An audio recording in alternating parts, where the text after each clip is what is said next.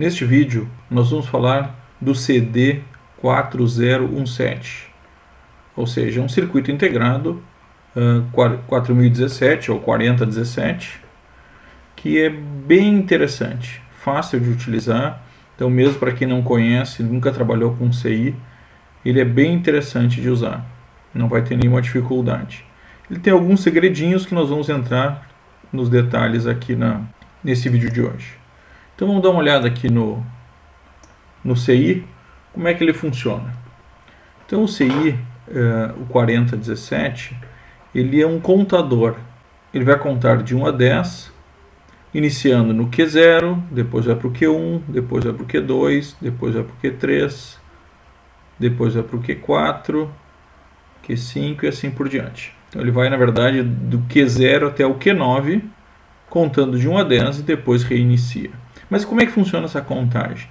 Cada vez que ele recebeu um pulso no pino 14, que é o clock, cada vez que ele recebeu um pulso aqui, ele conta, ou seja, ele sai desse e vai para esse, depois sai desse e vai para esse. O que, que é o sair? Ele recebe a mesma tensão que está entrando no VDD dele, ele vai jogar na saída que está selecionada. Então ele vai alternando a saída à medida que ele vai recebendo um pulso no clock. Isso parece um pouco complicado? Para quem nunca viu, sim. Para quem já trabalhou com CI é bem simples, né? Então eu só vou rapidamente passar os pinos para vocês nós vamos direto para a prática. Então nós temos aqui os pinos Q, que são a, a contagem, né? Nós temos o GND, que é onde nós vamos botar o nosso negativo, nosso terra, e o 16, que é o nosso nossa tensão de entrada, é o nosso positivo. Essa tensão de entrada ela vai de 5 a 15, dependendo do componente isso pode variar um pouco, mas vamos pensar sempre numa coisa genérica, trabalhando de 5 a 15. Eu tenho o meu master reset, que é para mim zerar a contagem. Então, se eu quero contar até 5, por exemplo, eu vou botar o, o sexto pino no master reset. E aí, com isso, eu vou zerar novamente. Temos o gatilho, né, que é o nosso clock. Cada vez que ele recebe um pulso, ele parte para a contagem. Nós temos o pino 13 e vejam que ele está com um traço em cima, então ele é ativado com o terra. O pino 13 é o enable, então nele eu habilito o clock. Sem ele, não, o clock não funciona. Então se ele não estiver ligado no terra, o clock não funciona. E o uh, carry out. O que é o carry out? O carry out é, eu quero colocar uma contagem até 20, por exemplo. Ou eu quero fazer um contador de uma outra forma, mas eu quero que continue. O carry out, quando eu chegar no 9 e for para o 1 novamente, ou para o 0 novamente, ele vai dar um pulso no carry out, que eu posso ativar, informar ou fazer alguma ação com esse pulso para saber que ele chegou no 10. Então esse é o nosso 40, 4017, resumidamente esse é o nosso desenho. Mas sem enrolar muito, vamos lá para a prática. Então aqui está o nosso 4017. É. Para quem não sabe ainda, quando a gente trabalha com CI, essa pequena meia-lua que tem, a gente coloca para o lado esquerdo. E a contagem dos pinos sempre vai de baixo para cima, da esquerda para a direita. Então esse é o pino 1, 2, 3, 4, 5, 6, 7, 8. Continuo do outro lado, 9, 10, 11, 12, 13, 14, 15, 16. Ele é um CI de 16 pinos, então esse aqui é o 1, aqui lá é o 16. Então esse é o nosso 4017 e essa contagem de pinos não é para ele, isso é genérico para qualquer CI. Vamos começar a fazer a nossa ligação. Aqui vocês vão ver que eu já estou com a energia conectada, não ligada, e eu botei um LEDzinho aqui só para indicar quando ela está ligada ou não. Então quando eu ligar a energia, ele acende. Só para a gente poder ter algum tipo de controle. Eu estou trabalhando com 9 volts. Como eu disse, nós vamos de 5 a 15, então eu estou trabalhando com 9 volts. Uma entrada de uma bateria, né? Fica fácil da gente poder fazer um protótipo para usar posteriormente. Então vamos fazer as ligações básicas. Então, primeiro eu vou ligar o positivo no pino 16 e o negativo no pino 8. como diz no próprio desenho. Né? São as duas entradas mais simples, que são as, digamos, óbvias. Mas eu não posso esquecer também de que se eu quiser fazer com que o clock funcione, eu preciso botar um negativo no pino 13, é o enable. Então já vou colocar aqui um negativo no pino 13. 16, 15, 14, 13. Muito bem. E como é que eu testo se isso está funcionando? Vamos colocar aqui no pino 3, que é o primeiro, quando eu ligo é o Q0, e no pino 2, que é o Q1.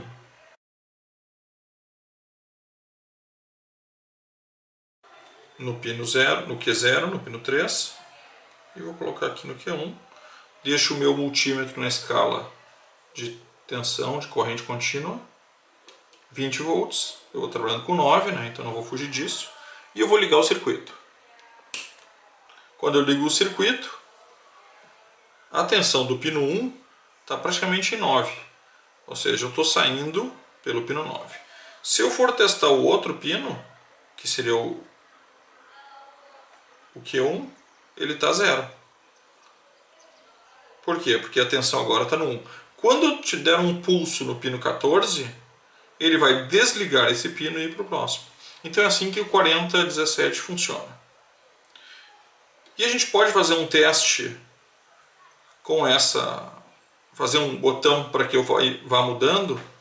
Podemos sim. Só que para isso eu não posso fazer um botão comum. Por quê? Porque ele funciona com um pulso. E aí que a gente vai ter que fazer um pequeno circuito para ser o botão. Vamos dar uma olhada ali na tela.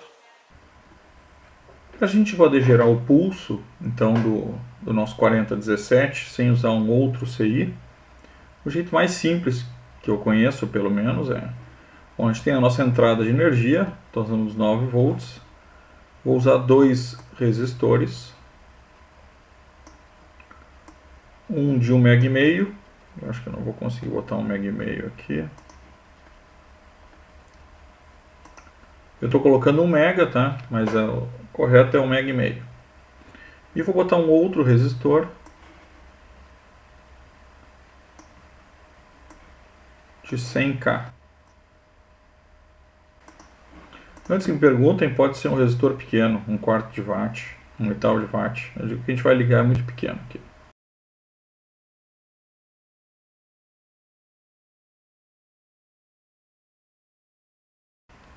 E vou colocar aqui em paralelo um capacitorzinho, pode ser de 100 nano, 10 nano, 100 nano, não tem muito problema. Prontinho. Esse é o circuito. Na verdade, esse ponto aqui, eu não tenho nada para botar aqui. Deixa eu botar um...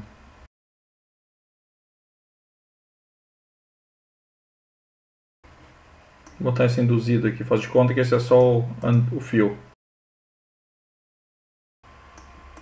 Então, o que, eu vou fazer? Nessa saída aqui, eu vou fazer a ligação com o clock do 4017. É aqui que eu ligo. Então, Opa, faltou o botão. Vou botar o botão rapidinho aqui.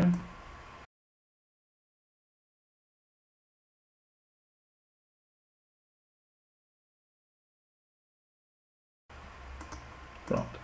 Então sempre que eu apertar o botão, eu vou gerar um pulso e aí vai fazer o 4017 funcionar. Então é um circuito bem simples, é uma forma da gente gerar o pulso que o 4017 vai entender sem ter nenhum tipo de erro. Né? Muitas vezes a gente acaba fazendo um circuito mais simples, mas eu aperto, ele anda duas vezes ou anda três vezes. Esse circuito normalmente funciona muito bem. Então vamos implementar ele. Então lá visto como a gente fazia o botão, eu já preparei aqui. Né? Basicamente são os dois resistores, fazendo como se fosse um divisor de tensão, e em paralelo um capacitorzinho. E aí dele é o que eu saio do meio dos dois resistores e do capacitor, eu saio com o meu pulso, né? E aqui eu ligo na energia. Aquele nosso desenho ali, só agora na prática. E aí eu vou colocar ele no pino 14, que é o pino que vai dar o pulso. Bom, aqui tem um detalhe. Quando eu faço isso, essa ligação do pino para fazer ele andar, eu tenho que ativar também, eu tenho que desativar o meu reset. Se eu deixar o master reset assim, ele vai ficar resetando. Cada vez que ele receber um pulso, ele reseta. E então ele não anda, porque ele volta sempre o primeiro. Então eu também preciso aqui nesse caso ligar o master reset no negativo, no GND. Por quê? Porque se eu deixar o master reset no positivo, ele vai ficar resetando. Aí eu quero desabilitar ele, por isso que eu vou botar no negativo. E agora é só a gente testar. Então vamos ligar aqui o nosso multímetro. Ligo o circuito, estou lá em 9 volts.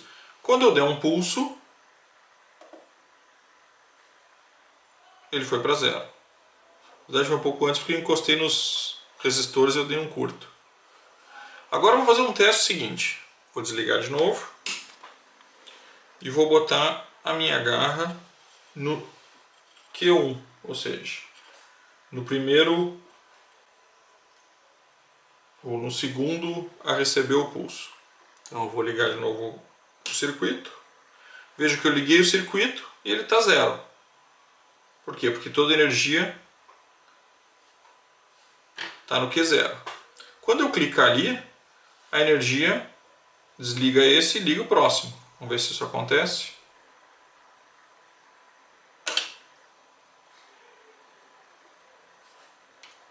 Bom, aconteceu. Um pequeno acidente, mas aconteceu. Então, eu, quando eu cliquei o botão, eu desliguei esse e liguei aquele. Então, passou de 0 para 9 volts. Quando eu apertar o botão de novo, eu não tenho nenhuma marcação. Mas ele ficou zero. Por quê? Porque agora ele foi para o Q2. E assim sucessivamente, cada vez ele vai ligando um. Vamos agora botar um LED para ver como é que fica.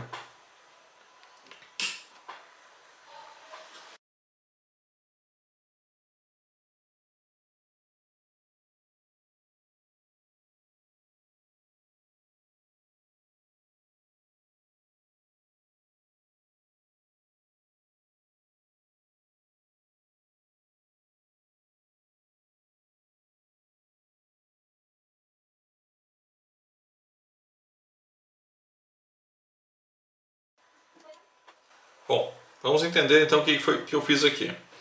Eu coloquei no Q0, no Q1 e no Q2. E eu coloquei um resistor.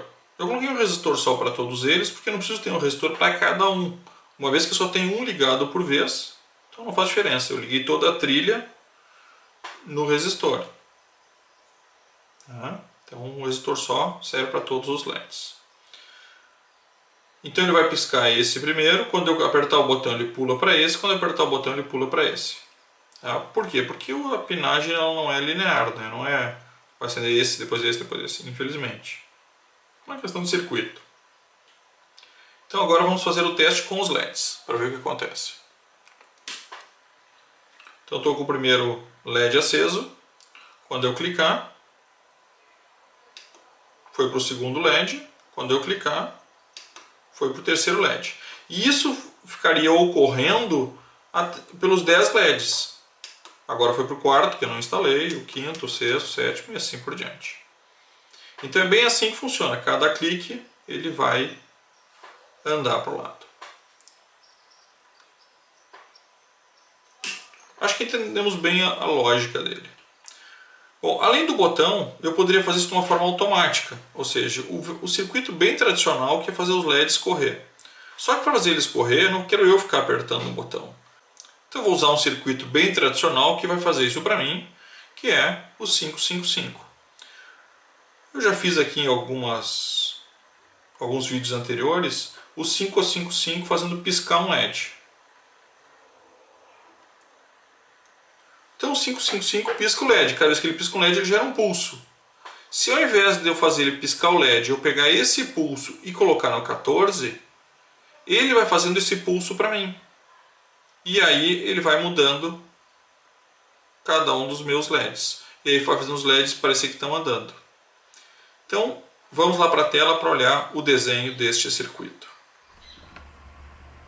Bom, para a gente botar o 555 como o nosso timer, ou melhor dizendo, como o nosso oscilador aqui, Eu vou usar um circuito que a gente já usou, né? Então, quem quiser pode olhar o LED piscando com velocidade variável do 555 e vai ter esse mesmo circuito com a explicação dele.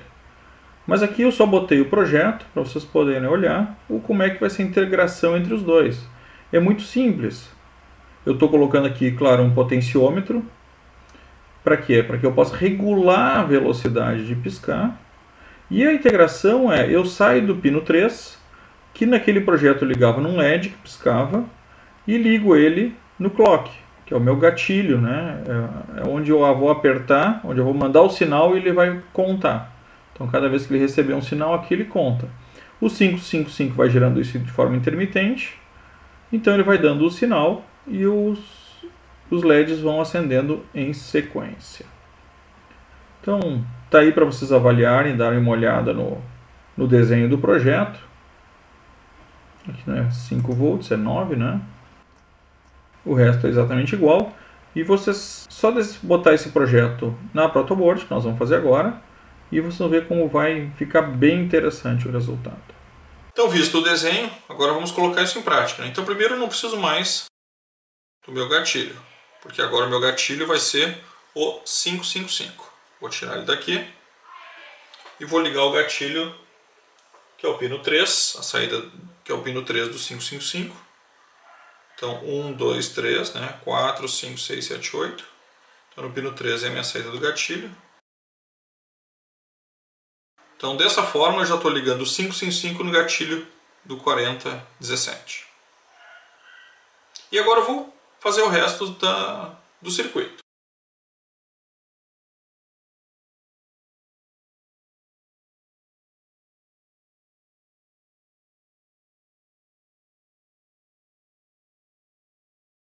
Bom, antes de continuar aqui, é, eu troquei alguns dos cabos desses fiozinhos por esses aqui.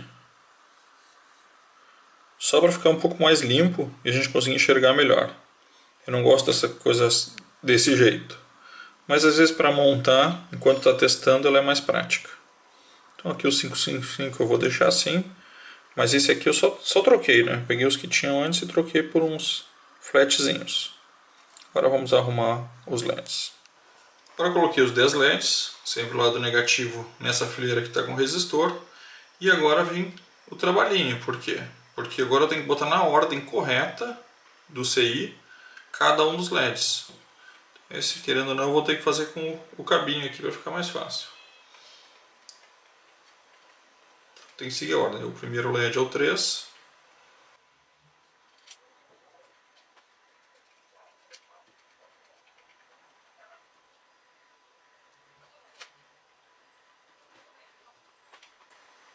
Prontinho. Agora está montado.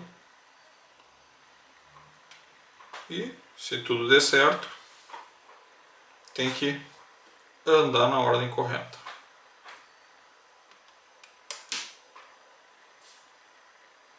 Tudo deu certo.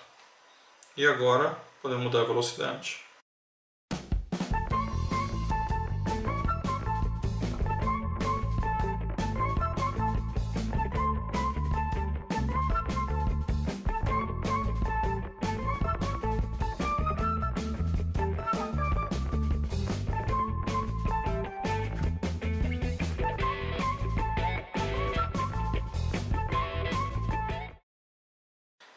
É isso que faz o 4017. Bom, mas a gente pode fazer algumas coisas a mais com ele. É claro que a partir de agora o que a gente vai fazer é apenas variações dessa lógica. Então vamos fazer alguns, algumas brincadeiras.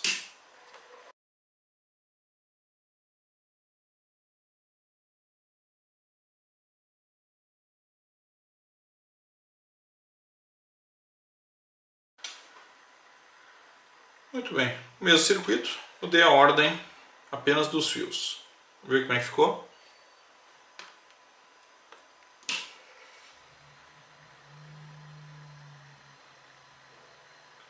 A impressão é que ele vai e volta, mas ele está pulando LEDs, né? Vamos tentar botar um pouquinho mais devagar.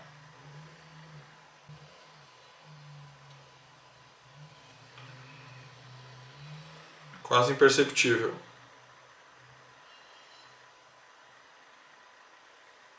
Então vejam que dá para fazer algumas coisas bem interessantes com 4017. Mas tem umas coisas ainda mais legais.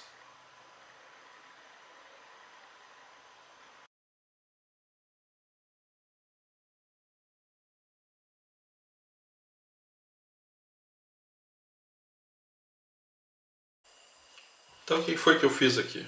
Na verdade, eu liguei em cada uma das saídas um pequeno diodo. Por quê? Para fazer com que mais de uma saída possa acender um mesmo LED, eu tenho que botar um diodo para que a energia não volte para aquele pino. Então, para que ela não volte para o pino, eu tenho que colocar um diodo para deixar só um sentido da energia. Então, eu liguei um, um pino deixei o outro vazio, liguei o terceiro pino, deixei o outro vazio, liguei o quinto pino, deixei o outro vazio. Aí fui para o outro LED. Liguei, melhor, liguei o quinto pino, depois liguei o sexto pino no outro LED, deixei o vazio, liguei o sétimo pino no outro LED, deixei vazio e liguei o Q8 no Q9 no pino.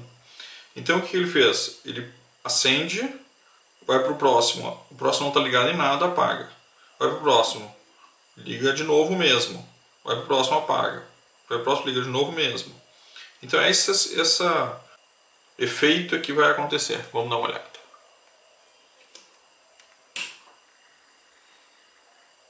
Efeito um pouco polícia, um pouco. Vou botar um pouco mais rápido. Ou também de avião, né? Avião a gente enxerga isso às vezes. Então é uma brincadeira legal de fazer com a mesma regra mesmo funcionamento, apenas um circuito diferenciado.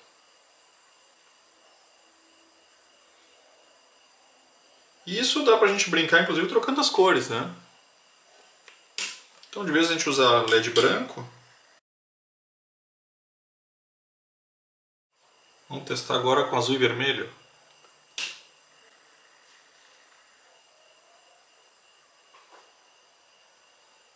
E aí eu tenho meu circuito tipo polícia, né?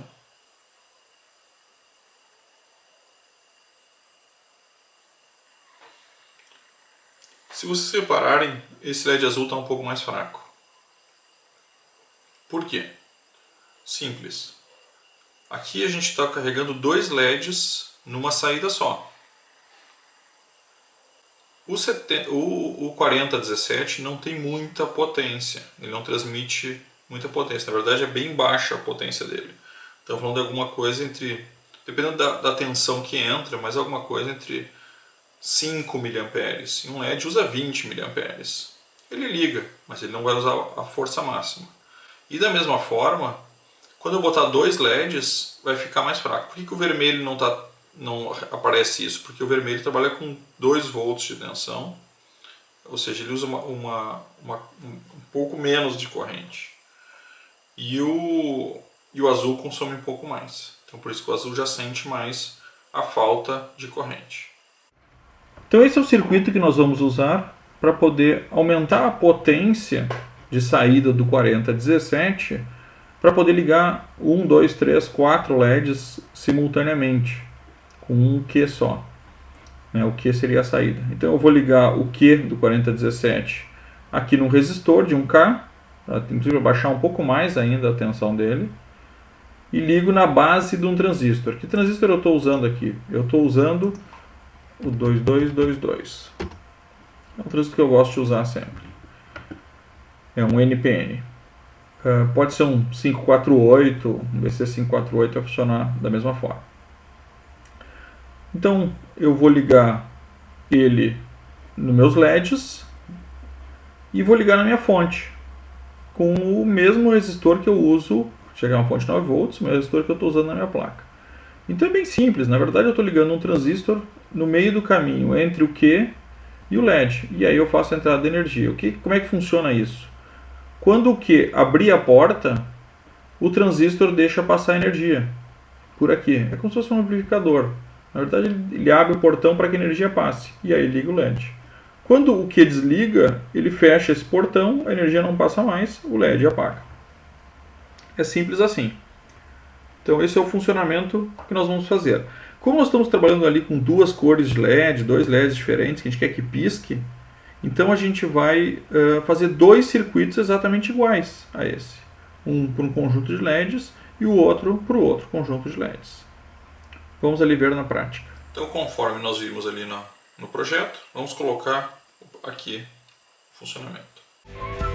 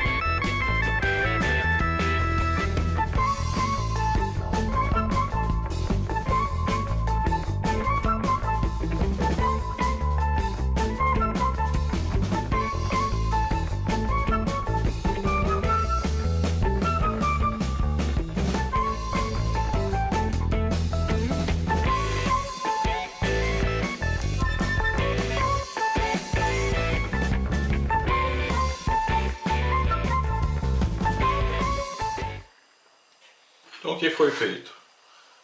Onde eu estava ligado o LED, eu liguei um cabo no primeiro conjunto, que nós vimos no circuito. E onde ligava o LED vermelho, eu liguei no outro conjunto de circuito. Então ficou virado, esse aqui ficou no azul e aquele ali ficou no vermelho. Então são dois conjuntos exatamente iguais. E o que, que ele faz? Eu dou um pulso menor, inclusive eu reduzo ele aqui com um resistor de 1K põe na base, a base abre a energia para passar direto da minha fonte, estou ligando aqui no vermelho, para os LEDs. Então eu não passo pelo, a energia não passa pelo CI, ela vem direto. O CI simplesmente abre a ponte, né? abre a ponte para poder passar a energia. Então vamos testar?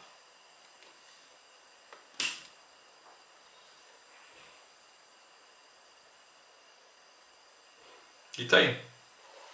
Vejam que fica bem legal.